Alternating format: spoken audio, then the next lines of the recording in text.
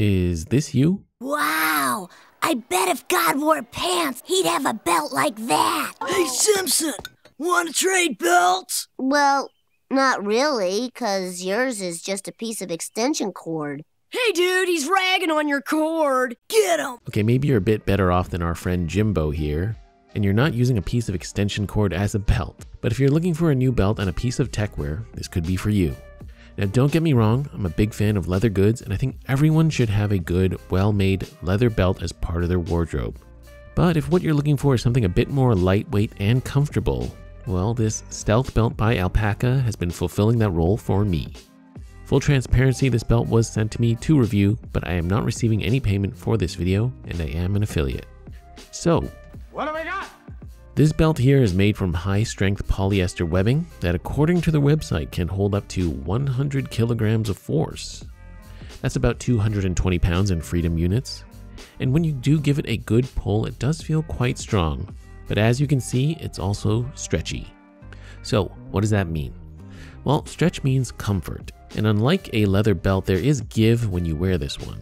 Which means if you're on your fourth plate at your local all you can eat Chinese buffet, you won't need to covertly loosen your belt under the table.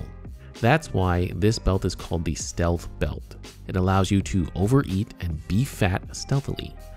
no, just kidding. But it is comfortable. I've also been using this belt for months, so this is definitely a long term opinion. In my personal experience, this belt is sturdy enough to hold up my pants, but still stretchy and thin enough to remain lightweight and comfy. This, however, may not work for everyone because if you're like this guy, or you tend to carry any sort of tools on your belt with any sort of holster, the stretchiness may not work for you if you need that added support.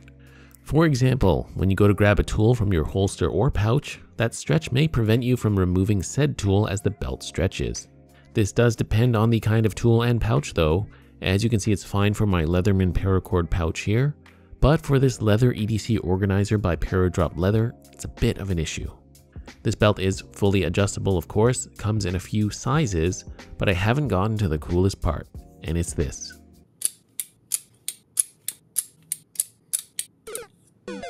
This is what I love the most about this belt, the magnetic fidlock clasp. So unlike a traditional belt with the sizing holes and the belt tongue, yes apparently it's called a tongue, that goes into the holes, sorry, this belt uses a magnetic fidlock to open and close the belt, which makes taking it on and off super fast and actually really satisfying.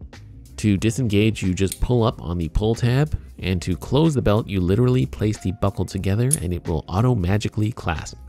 Kind of feel like Batman when I put it on.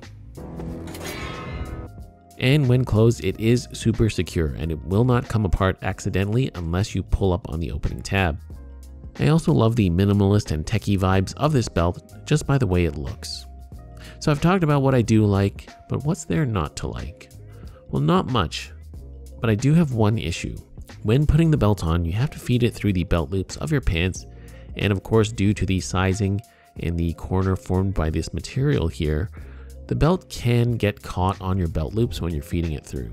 It doesn't always happen, nor is it a huge issue, but it does get caught once in a while when putting the belt on or taking it off. This could be remedied by reducing the width of the material or perhaps making the transition of this corner a bit more angled so that the belt loops don't get caught. So other than that, I do like it. If you want to get one for yourself, I've got a link in the description and don't forget to use my discount code.